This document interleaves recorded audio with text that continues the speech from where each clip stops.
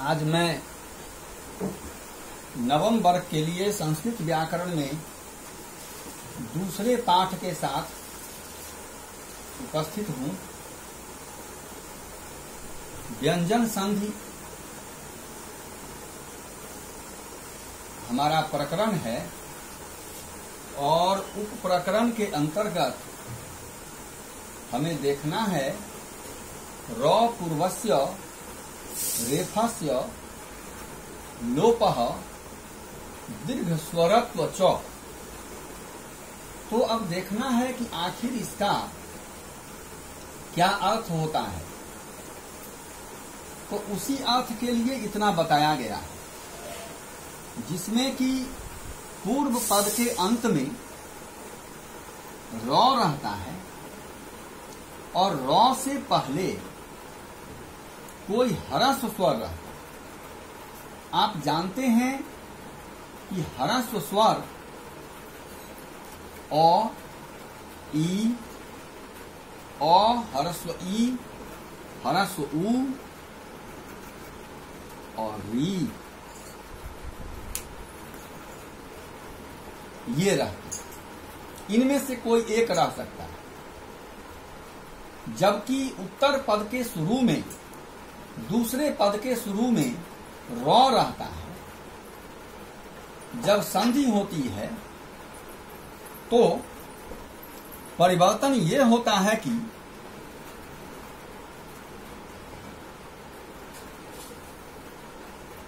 हरस्व स्वर जो पूर्व पद में था, वह दीर्घ स्वर में बदल जाता है, जबकि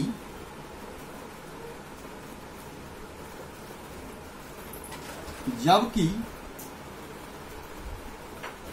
पूर्व के रॉ का लोप हो जाता है।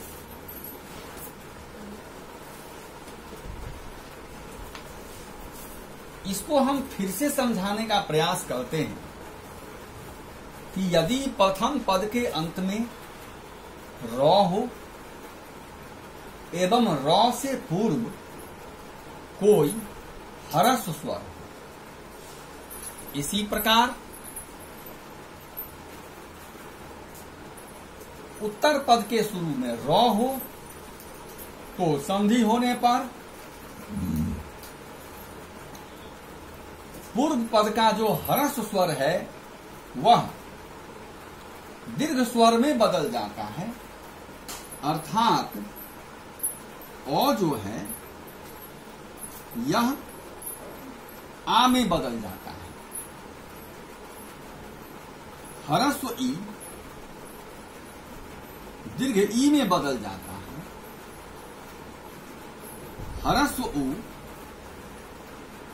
दीर्घ ऊ में बदल जाता है।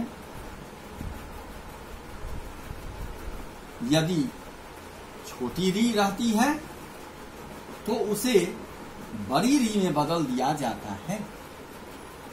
और पूर्व का जो रॉ है, पहले का जो रॉ है, वह रॉ लुप्त हो जाता है। अब आपकी सुविधा के लिए, आपके समझने के लिए हम कुछ उदाहरण देते हैं। जैसे देखिए प्रथम पद है। नीर और द्वितीय पद है रवह। अब यहाँ दोनों पदों में जो परिस्थिति है, उसका अध्ययन करते हैं। तो प्रथम पद के अंत में रॉ हलंत है और रॉ हलंत से पूर्व नौ में हर्ष ई कार है हर्ष ई है, जबकि दूसरे पद के शुरू में रॉ है। अब यहाँ जो परिवर्तन होगा, सो हम आपको बता देते हैं।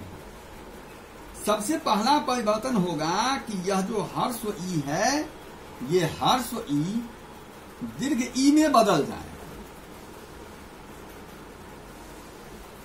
इस रॉ का लोप हो जाए। लेकिन अंतिम पद के शुरू का रॉ अवश्य रहे। अब इस प्रकार करने पर हम देखते हैं कि नौ के साथ जो यहाँ हर्ष ई का था, ये दीर्घ इकार बन जाता है। ये रॉ हट जाता है और ये रॉ रह जाता है, शब्द बन जाता है नीरव। रब का अर्थ होता है आवाज़ और निर को कहते हैं अभाव। निर का अर्थ है अभाव अभाव और रब का अर्थ है आवाज़। तो जहाँ आवाज़ का अभाव हो उसी का नाम है नीरव। दूसरा उदाहरण लीजिए। अंतर, ज़ोर, राज्यम। अब यहाँ क्या है, सो देखते हैं। यहाँ देखना है कि तो में अकार की मात्रा है। प्रथम पद के अंत में रॉ हलंत है। दूसरे पद के शुरू में भी रॉ है। अब क्या होगा? जैसा हमने पिछले उदाहरण में देखा था, इसमें भी हम वैसा ही देखेंगे।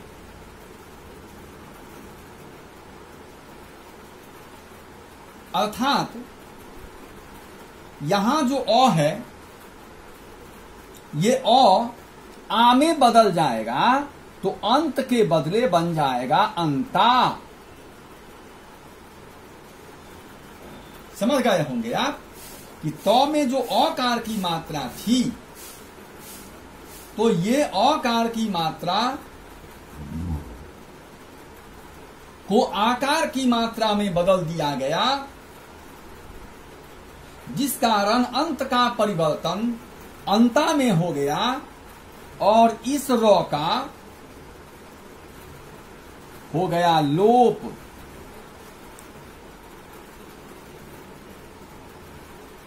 लेकिन ये रॉ तो रहेगा तो शब्द बन जाएगा अंताराज्यम।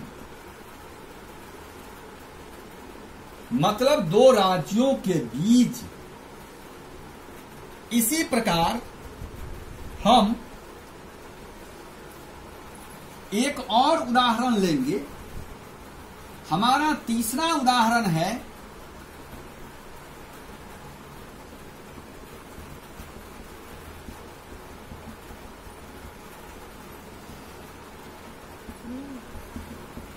हमारा तीसरा उदाहरण है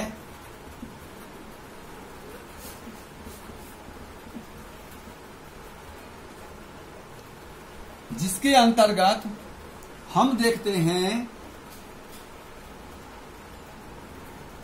गुरुर, ज़ोर, रुष्ट।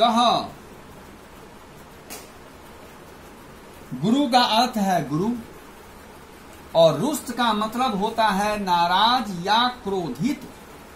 अब देखिए, प्रथम पद के अंत में रॉ हलंत है। उससे पहले रू है, अर्थात उसमें हर्ष ऊ की मात्रा है, जबकि दूसरे पद के शुरू में रॉ है।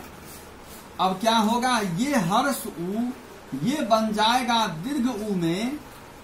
ये रॉ जो है, इसका लोप हो जाएगा और ये रॉ रह जाएगा। तो अब क्या हुआ? यहाँ जो हर्ष उकार की मात्रा थी रू में, अब यहाँ हर्ष उकार के बदले दीर्घ उकार की मात्रा हो जाती है। तो गुरु, और फिर ये रुष्ट तो बन जाता है गुरु रुष्ट। इस प्रकार इन तीनों उदाहरणों में हमने देखा कि यदि प्रथम पद के अंत में रॉ रहता है रॉ से पहले कोई हरस स्वर होता है और रॉ के बाद दूसरे पद के शुरू में भी रॉ रहता है तो पहला परिवर्तन कि हर्ष स्वर दीर्घ स्वर में बदलेगा, जिसमें हमने आपको बताया कि अ का परिवर्तन आ में होगा हर्ष ई का परिवर्तन दीर्घ ई में होगा, और हर्ष ऊ का परिवर्तन दीर्घ ऊ में। एवं प्रथम पद के अंत का जो र है, इस र का लोप हो जाएगा। बस यही दो परिवर्तन होते हैं और संधि हो जाती है। दस और